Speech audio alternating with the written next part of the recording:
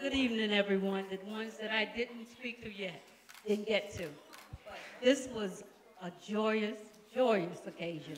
And I really appreciate everybody that came. I love it. It was a very surprise to me because I'm telling her, well, Evie, you gotta rush, you gotta hurry up. We gotta be there at five o'clock. I said, Frank is gonna be done, got his certificate, and we won't even see it. she had left at the house, and I don't know where she went. I was in the bathroom getting dressed. She says, well, mommy, I'll be back. I gotta go to the store. So I said, okay. Now this was 10 to 5. She came here. And I'm saying, oh, well, we're not gonna make it in time. So by 5.15, I called her, and I said, Evie, what are you doing? Are we going or not? I said, if not, I said, I can pull off this dress and get, and get relaxed. So she finally got there. And I'm still thinking that we're coming for Frank. Cause, because Cece had called me way back when, last month. And she said, Auntie, um, they're having um, um, certificate, giving a program for, for um, the school, and they're awarding Frank a certificate. But I don't want him to know about it. They want it to be a surprise. And she said, well, I want you and Evanette to come. I said, girl, you know we'll be there. of course we'll be there. So, of course, here I am thinking that I was coming for Frank, and I kept asking Evanette all today, uh, well, Evie, is Frank gonna be surprised? Did nobody told, told it, tell him anything yet? No, mommy, nobody told him, ain't nobody gonna tell him. But in in the meantime, coming in, I'm talking to John, because John and Minnie met me at the door.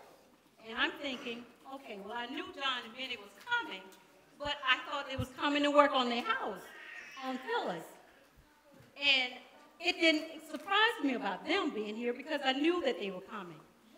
So in the meantime, I'm talking to John, I'm saying, you know what, this don't make no sense. He said, girl, happy birthday. I said, thank you, John.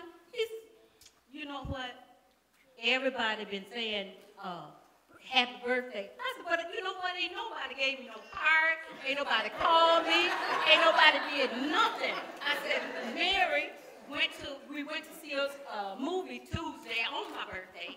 I said, then Evanette taking me to a very, uh, glorious, uh, beautiful, uh, dinner.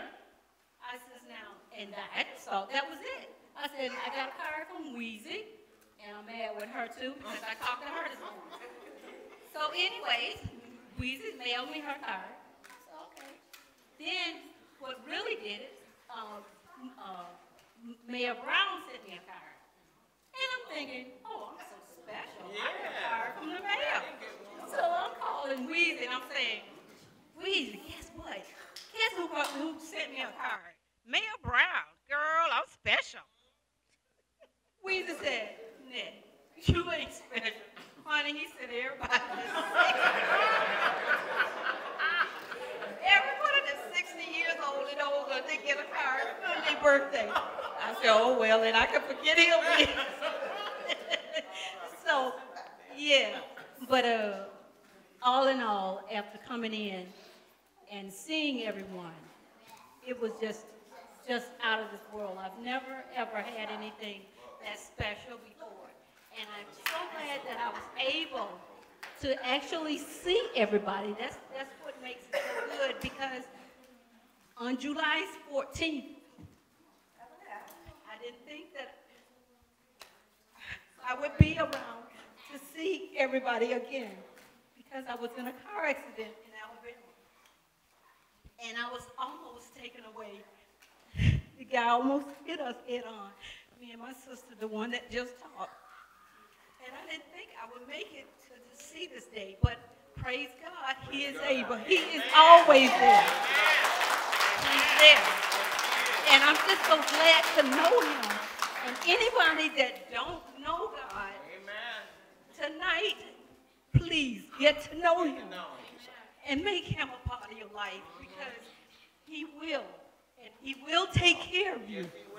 He's always there, no matter what.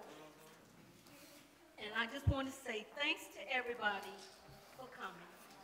I appreciate it, and I will always, always cherish the memory. Thank you.